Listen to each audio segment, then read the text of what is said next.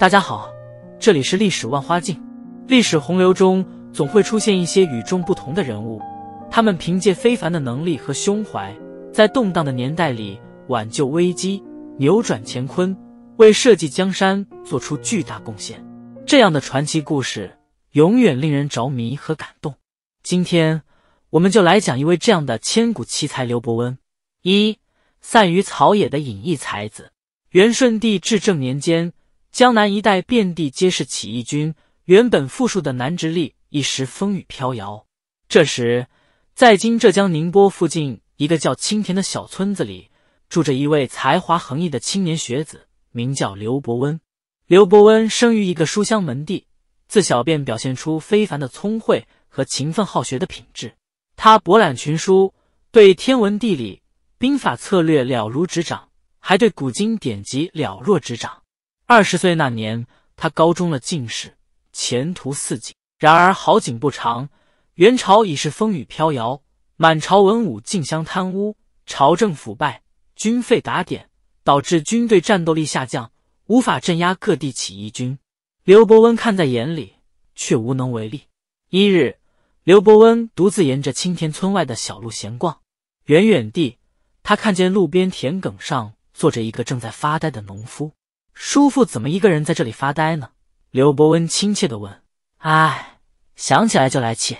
叔父叹了口气：“我的田被官府多收了税，今年粮食收成又不好，亏得惨重啊。”刘伯温心中一紧，明白民间疾苦已到了何种程度。他安慰叔父几句，面带忧色的离开了。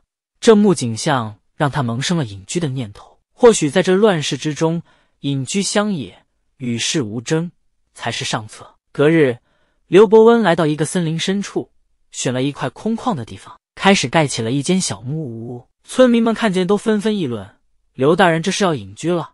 他那么有才华，不去做官，可惜啊！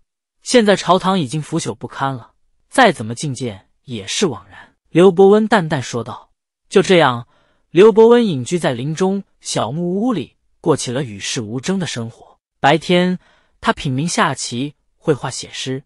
夜晚仰望星空，漫步在林中，村民们时常看到他独自站在山坡上，凝望着远方，不知在思索些什么。唉，刘大人当真是一位隐逸的才子啊！村民们感慨道。二，鹰照出山，献策立功。当刘伯温正打算在山林中度过此生时，南直隶一带却风云变幻。原本在吉宁一带颇有声势的朱元璋。正在以雷霆万钧之势席卷各路敌军，他用武力击溃了陈友谅，又用利诱的方式拉拢到了的豪杰才俊。一日，朱元璋的使者来到刘伯温的木屋前，向他转达了朱元璋的邀请。朱将军盛情难却，才华如刘公隐然不宣，实乃天下之不幸，还请刘公出山相助，以免使君龙体劳伤。刘伯温听后默然。他虽然厌倦朝堂，但见识过朱元璋的胸怀与抱负，也不忍见他为竞争天下辛劳。最终，他决定暂时抛却隐逸，响应召唤，助朱元璋一臂之力。既然朱将军用心良苦，我也不能袖手旁观。这个天下需要英明神武的君主来拯救苍生。”刘伯温淡淡说道。于是，刘伯温的包袱告别了简陋的木屋，踏上了辅佐朱元璋之路。此后，刘伯温果然攻参谋军国大计，多有建树。在攻打吉宁的战役中，朱元璋按照刘伯温的策略调兵遣将，终于攻克了城池。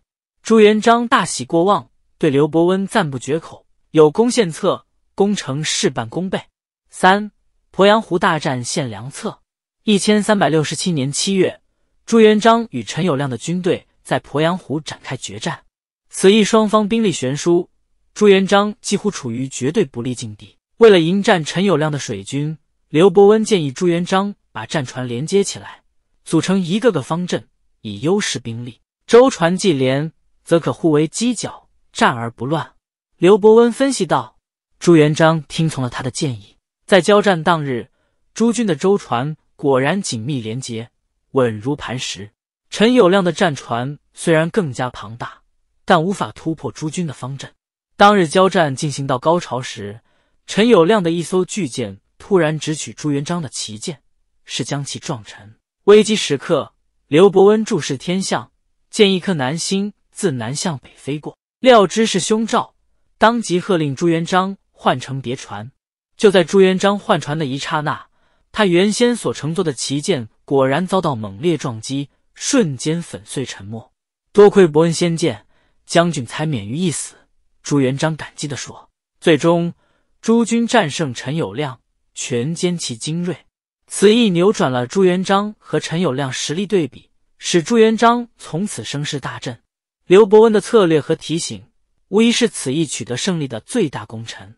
四，卜筮神准载入史册。大势已去，朱元璋接连攻灭敌军，终于天下，建立了大明江山。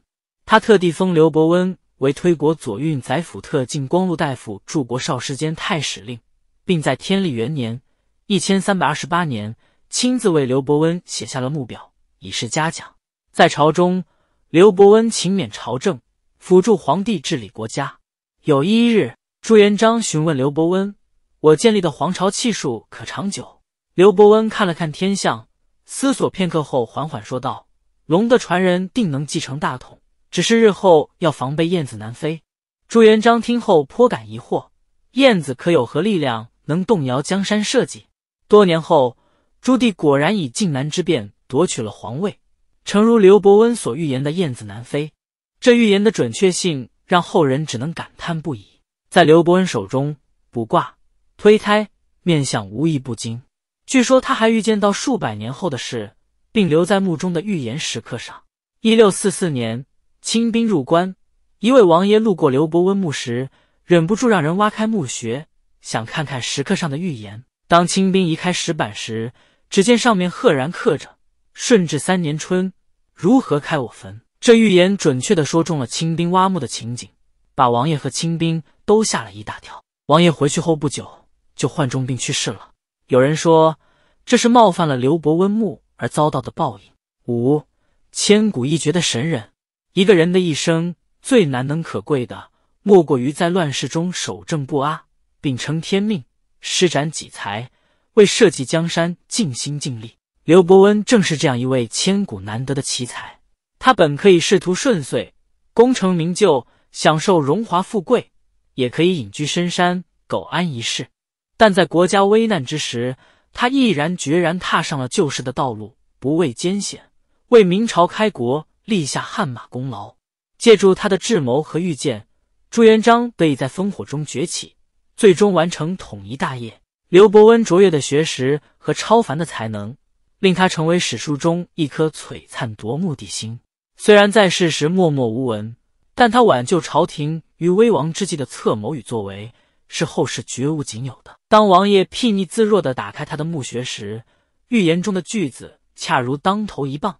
将恃强凌弱的人击个正着。刘公虽已仙逝百年，但他的功业与品格依然闪耀，令人敬仰。倘若他从未出现，历史的车轮恐怕将朝着完全不同的方向转动。可以说，一个刘伯温就改变了整个时代的面貌。这样一位大丈夫，铮铮铁骨，折而不扣，意气风发，功在国家社稷，名留千古，实在可歌可泣。